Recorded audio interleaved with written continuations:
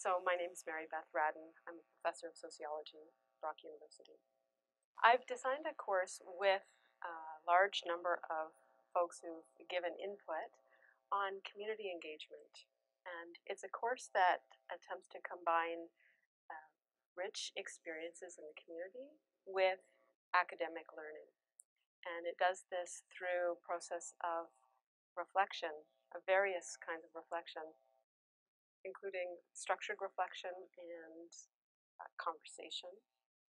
Uh, and there are also opportunities for online dialogue and for creative forms of expressing learning, such as presenting an icon of your learning or uh, telling a story of the most significant moments of your learning or the critical critical moments of insight that students have gained working in the community.